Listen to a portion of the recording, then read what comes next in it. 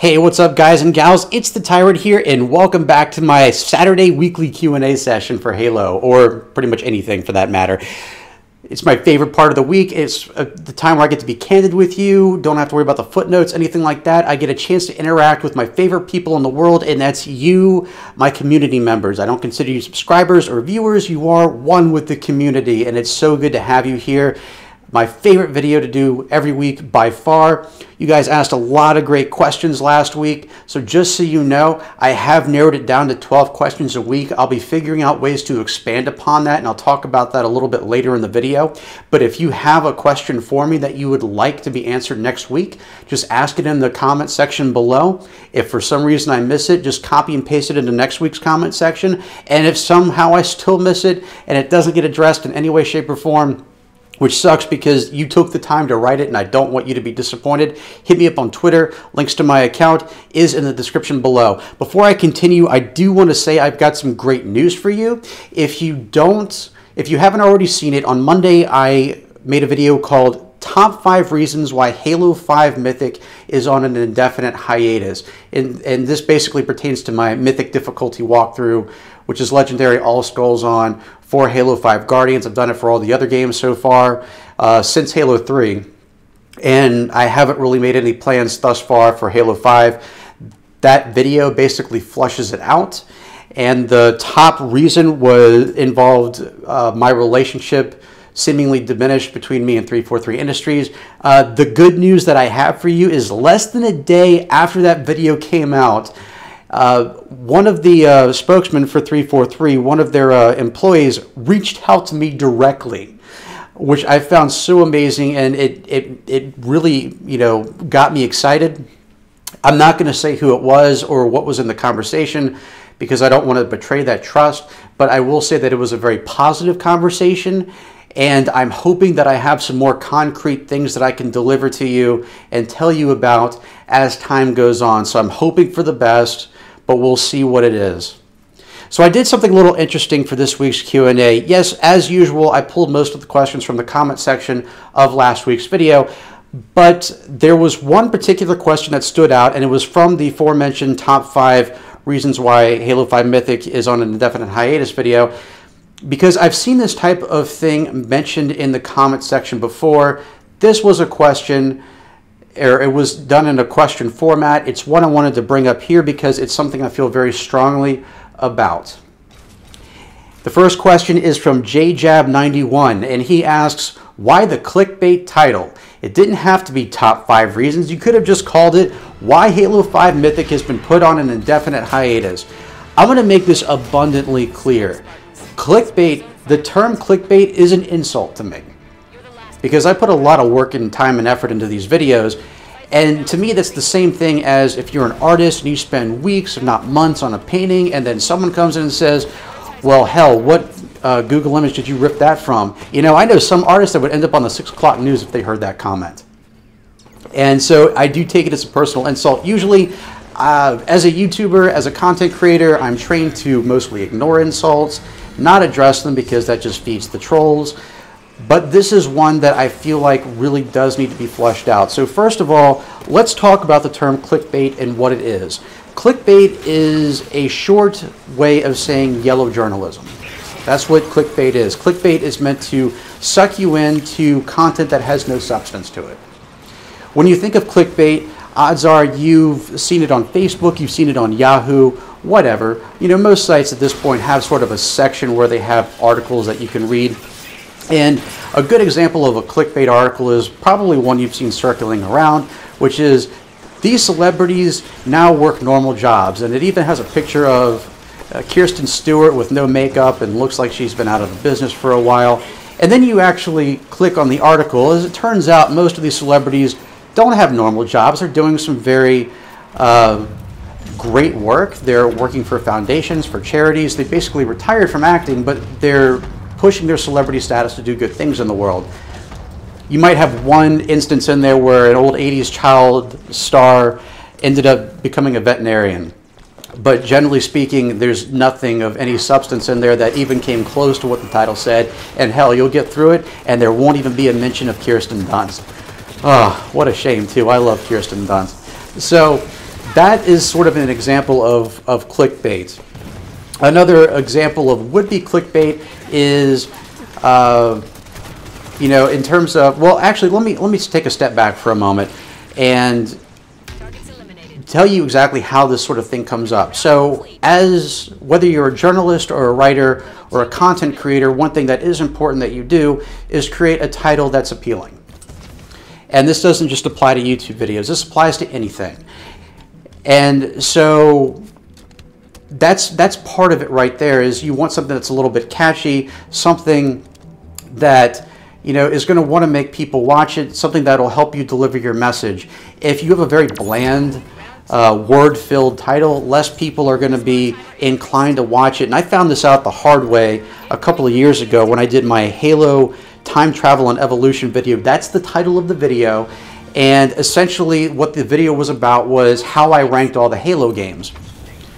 And so I titled it Time Travel and Evolution because I was basically going back in time and talking about all the different Halos from past to present and how they evolved to from the one that I hated the most to the one that I loved the most. And in reality, the better title would have been top or all Halo games ranked.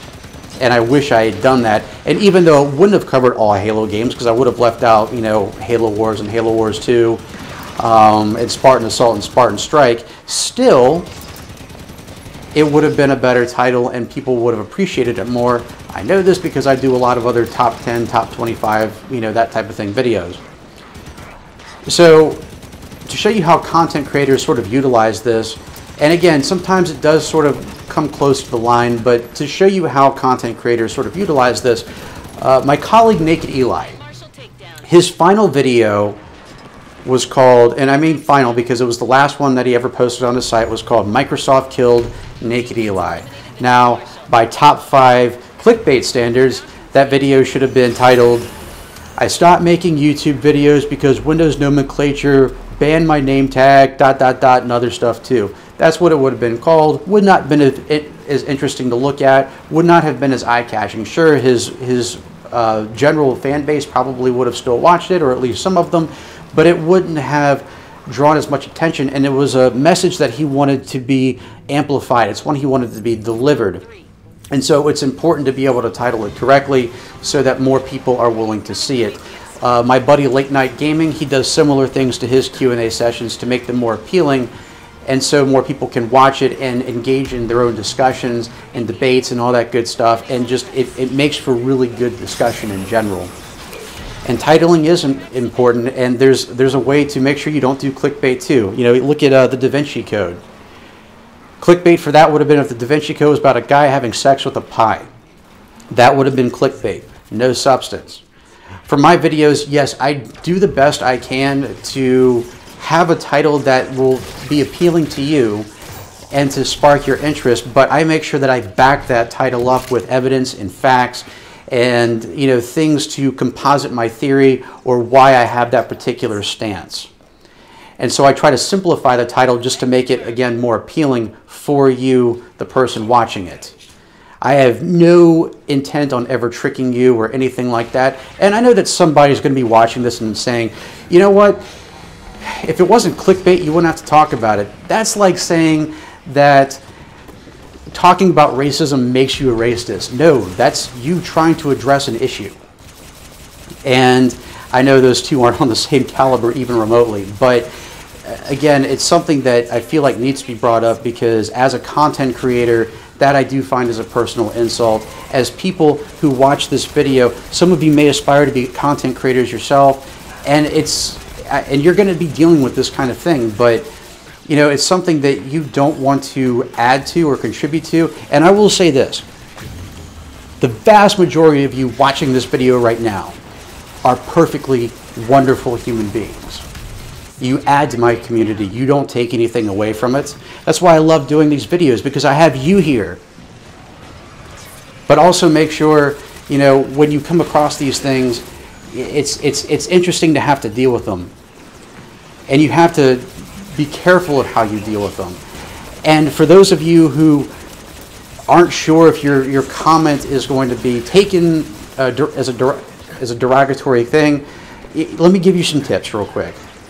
First of all, when you write a comment, I will say flat out that I promote constructive criticism because having constructive critical comments allows me to look at my content and make it better and make it more appealing to you, the viewer. A good one that happened a few years ago was someone told me that I cursed too much in my videos, and I still do occasionally, but I've made an active effort to not do that anymore because of this one comment.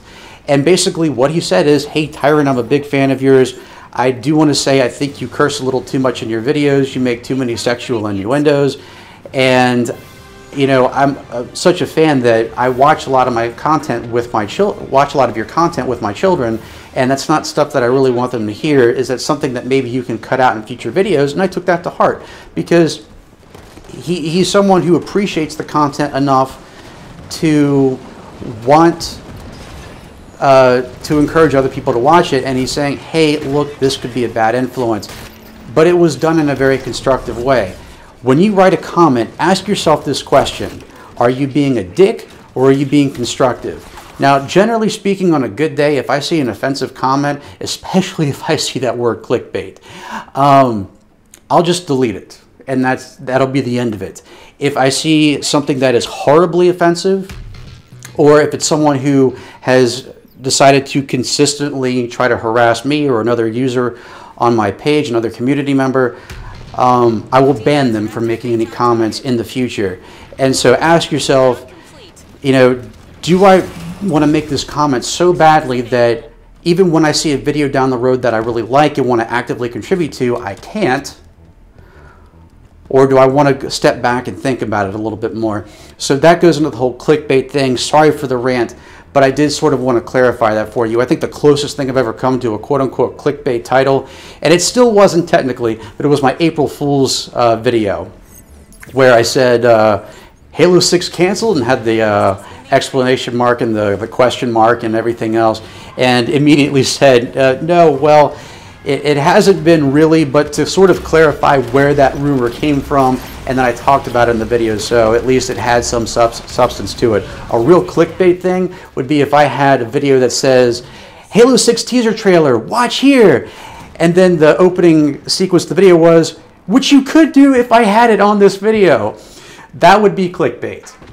And I don't do that to you because I want you to enjoy my videos and to sort of reinforce that I know that it's content that you enjoy, you know, I look at the likes versus dislikes. And so when I looked at the video that this gentleman decided to make that comment on, you know, it's got about 2,000 views at this point, and there are 114 likes and there are only three dislikes. And that tells me that the vast majority of people, almost all of them, who watched that video are glad they did. Either they were entertained by it or they, they, get, they got new information that they hadn't had before and they learned something from it. So I like the content I create. Hopefully this pr provides a little insight to you. And if you become a content creator yourself, something that maybe you can learn from. But remember, I never want to rip you off. My goal is to bring you content that you can enjoy and be entertained by it and be informed by it. So it's an interesting question, but thank you for bringing it up so I could use this as a chance to flush it out. Mr. J Jab 91. Our next question, again, isn't really meant for a Q&A, but it was still mentioned in last week's comments, and it's from Jeremy Spalding.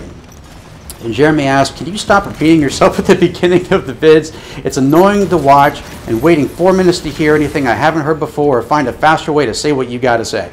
Okay, so here's how I sort of break this down. First of all, my intros to these Q&As are long, and I'll get to that in a second.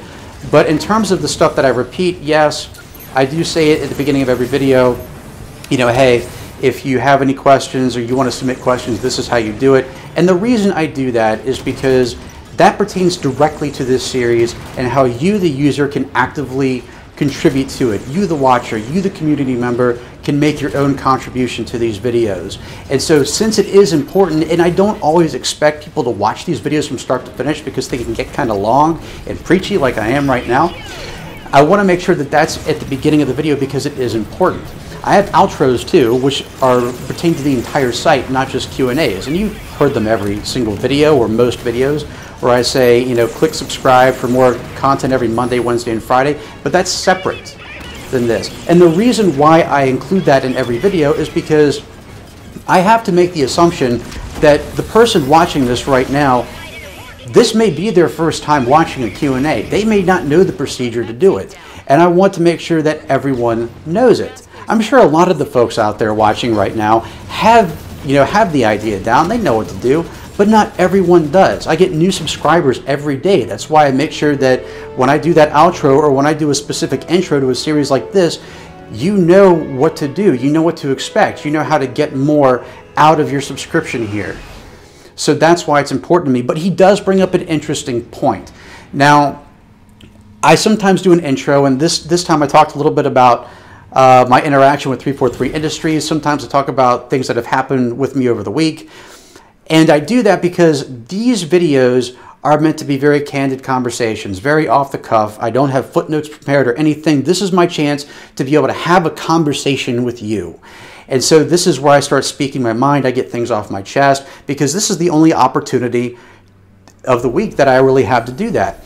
My Project Monday videos pertain to mostly Halo and Halo related content. It's not really a place for me to talk about my own personal uh, life, uh, unless it has something directly to do with Halo. Wednesdays are reviews.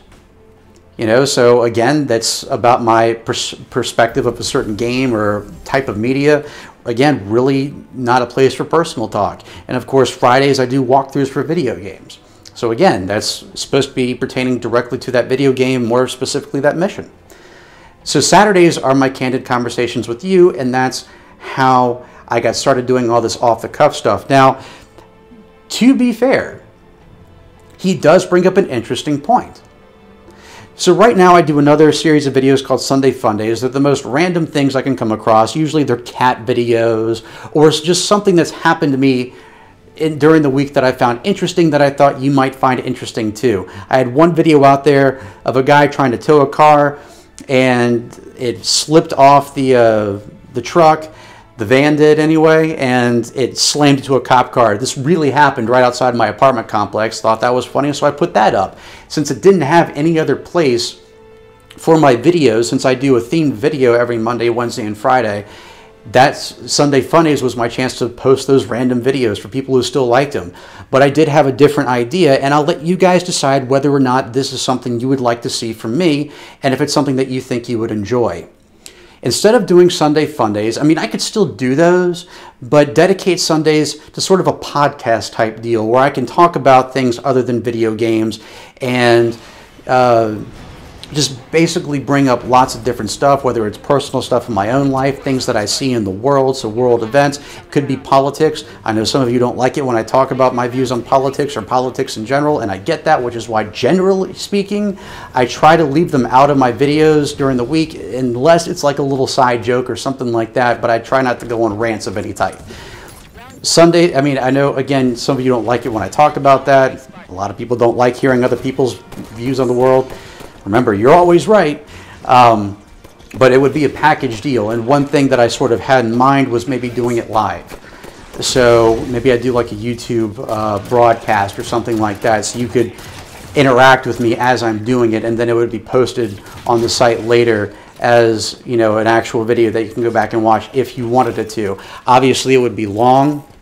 Um, possibly a little preachy, I don't know, but it would give you a chance to interact with me directly. How I would do this, I'm not entirely sure. I'm not really that big of a fan of Twitch simply because I don't like the, the quality of content that goes on that site. And I'm not talking about the actual content that is put on the site. I'm talking about, you know, in terms of resolution, in terms of just microphone quality, that sort of thing.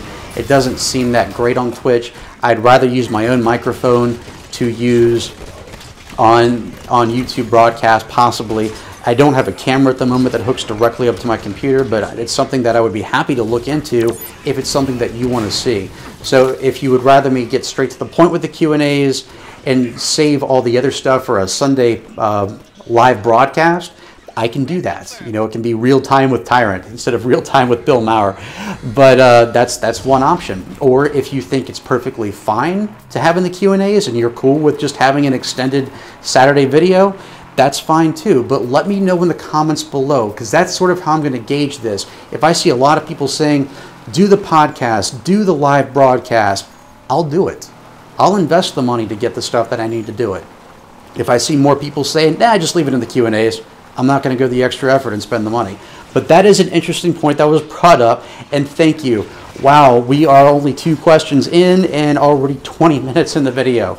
All right, so my next question comes from Stick Frame Animations. I always loved those when I was a kid.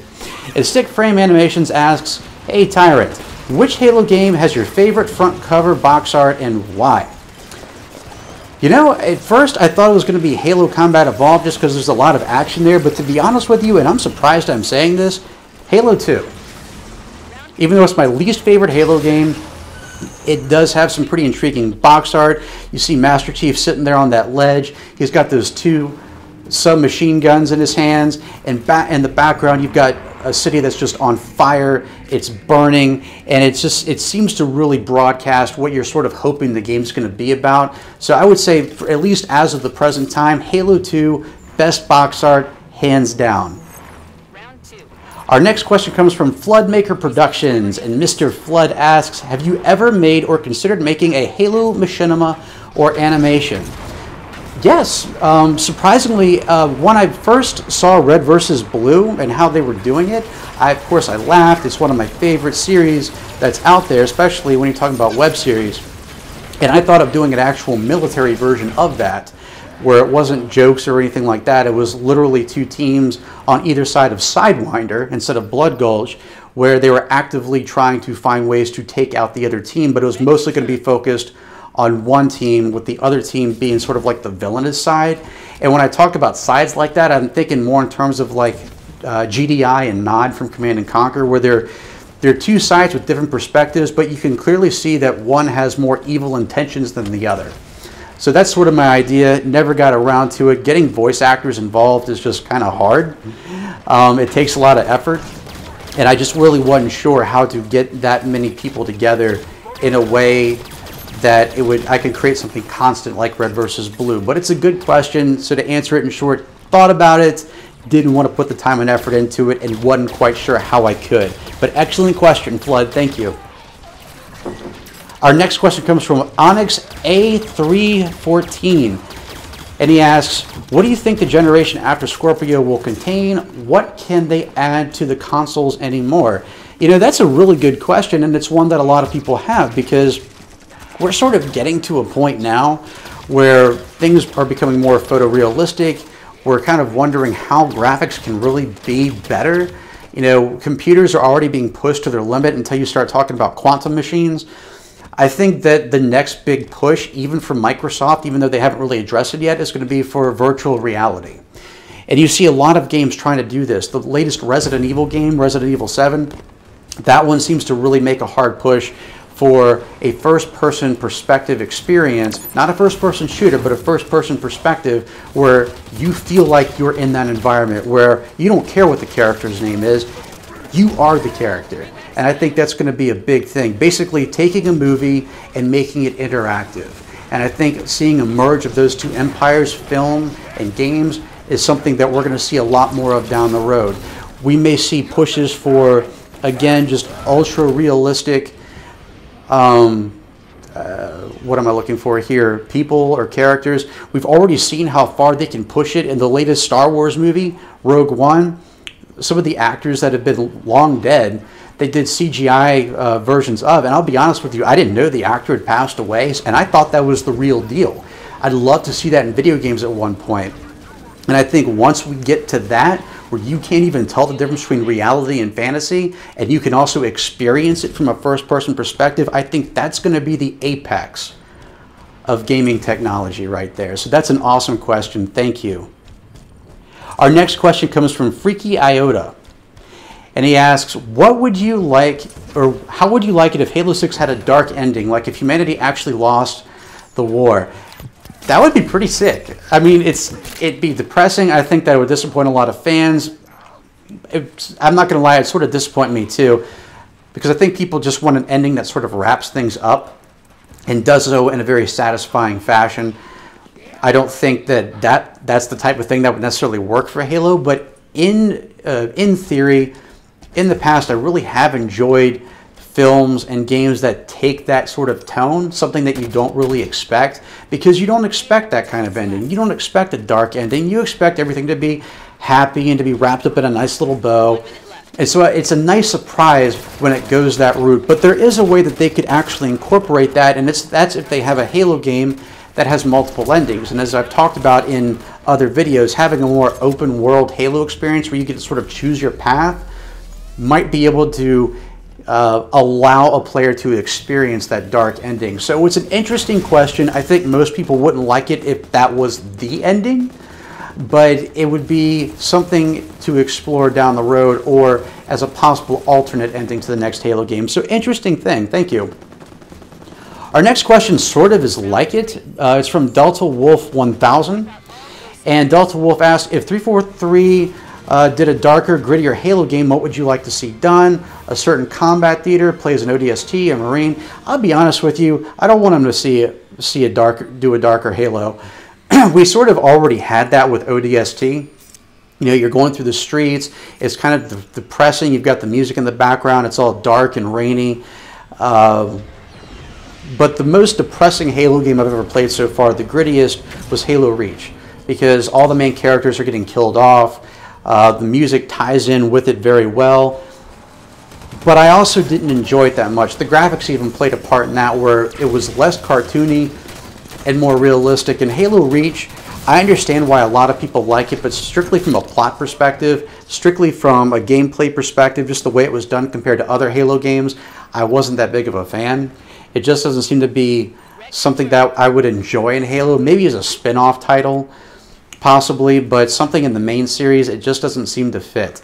But it's an interesting take on it. Personally, I like Halo's borderline cartoon type dealy as opposed to something that's ultra gritty and ultra realistic. I like to save that stuff for Battlefield or Call of Duty.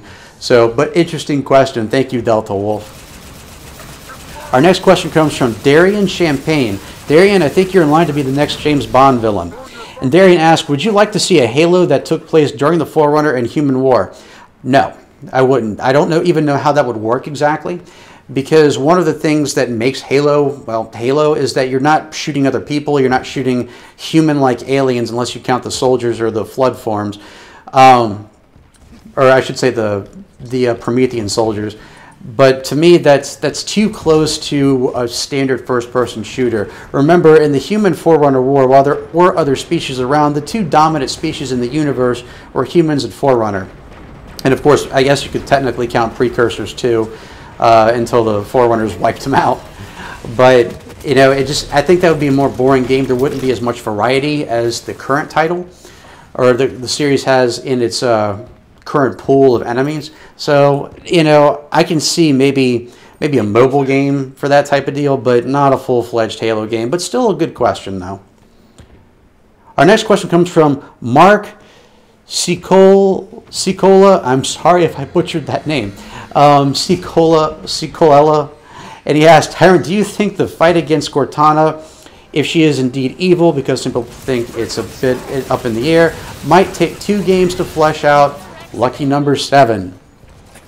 No, I don't. I think that if Microsoft wanted to stretch the current story arc to a fourth title, that they would lose a lot of uh, lose a lot of that Halo fan base because keep in mind that once Halo, the next major Halo game comes out, which is scheduled for 2018, the story will have been going on for six years. That's a long time. You know, even movies tend to come out every two to three or every couple of years, usually, sometimes longer. But generally speaking, I don't think that that's a great idea. If you look at the Marvel Cinematic Universe, for example, yeah, a direct sequel to The Avengers probably isn't coming out till next year, but at the same time, you have a lot of filler stuff. So there's always Marvel stuff coming out there, but that's a long time for a Halo game to to be stretched on. That's that's something that I think a lot of people would be against. And in terms of lucky number seven, I'm glad you brought that up. We've already really once that game comes out, that will be the seventh AAA Halo title because we have Halo 1, Halo 2, or I'm sorry, Halo Combat Evolved, Halo 2, Halo 3, not counting ODST here because it's an add-on to Halo 3. Then you have Halo Reach, which is a prequel, and then you have Halos 4 and 5. That's why I'm not sure that our next game is going to be called Halo 6, but maybe sort of an end title like Halo Reclamation. So you have basically five Halos, and then two others that have sort of subtitles to them. That would make a little bit more sense. I'm not sure, because I think if they put out Halo 6, people are going to be like, well, where's Halo 7? That was Bungie's lucky number. I know. But they shouldn't drag out a story. And I, I feel that way about a lot of different series, not just Halo. But yeah, I think they would be dragging it out too much if they did that. I'd rather, again, as I mentioned in the earlier in the video, I'd like to see just a more open-ended game that could cover more ground. That way you wouldn't need another game. We don't need a straightforward campaign, we just need a bigger experience. But that's still a great question, Mark. Thank you.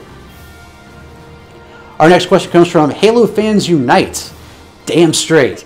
And his question is, what do you prefer more, Halo Wars 1 or 2, and why? Honestly, even though I do like Halo Wars 2, I think they did a great job with it, I still like Halo 1 more. Better cutscenes, better story, and more intriguing characters. You know, in terms of the Atriox versus the Arbiter that was in uh, Halo Wars, Atriox is more interesting to me because he's a leader, whereas Arbiter is more of a follower to the Prophet of Regret. But uh, so I will say Halo Wars 2 has the better villain, but in terms of gameplay, Halo Wars just seemed to make more sense to me. You know, in the campaign, I didn't have constant superpowers raining down on my base. Everything felt more manageable and there seemed to be a bigger variety of things that I could actually add into the game. So overall, I enjoyed Halo Wars more. I wish that it had been out for PC at the time. I wouldn't have been as critical of it, but it is now, so that's water under the bridge. But yeah, definitely Halo Wars. Good question. Our next question comes from Pat Canny. Always good to hear from you, Pat. And Pat asks, I know this is random, but have you ever played Halo Zero or Halo 2600? If you have, what are your thoughts? This is not the first time I've heard of Halo 2600. Um, whenever I post a video about Halo, it does come up in the list. I thought that was something completely different than something that was actually in Halo. But thank you for letting me know. Uh, I've never played Halo 2600, but now that you've mentioned it, I will take a look at it, see and see what it's about. Halo Zero, though, yes, I have played Halo Zero. I thought it was a great game at the time. I uh, still think it is. But so for those of you who aren't familiar with it, Halo Zero is a non-Bungie game, a non-Microsoft game that's just a 2D side scroller and it came out between Halo Combat Evolved and Halo 2 and it takes place on Reach and it basically all the events that lead up to Master Chief leaving Reach and picking up at the uh, with the Pillar of Autumn approaching uh, Installation 04. It is a fun game. It's nothing amazing, but it's got all the sound effects from Halo Combat Evolved. It's got all the weapons from Halo Combat Evolved and all the villains except for the Flood. So it's a fun little game to pass the time. It's 10 missions long. I actually have wanted to post a Halo Zero video on the site. I am currently, though, having trouble finding ways to record the gameplay. Whenever I try to load it up on my screen, Fraps will not record it. I may try to give this a go with my Windows 10 machine because that has in-game capture. So if that works out, great, I'll post it. Um, if not, well, I guess this is about all you'll hear with Halo Zero. But always good hearing from you, Pat. Thank you.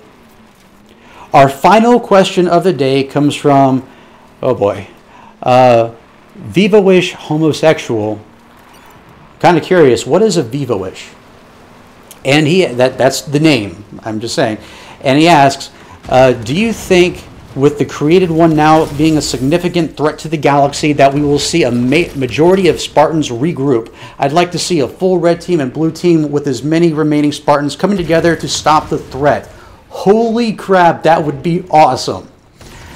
I think that the possibility of seeing that is very possible, especially with Halo Wars 2 that just came out. We can clearly see that Halo Wars 2 is going to have some sort of impact on the next major Halo title. The ending gives it away.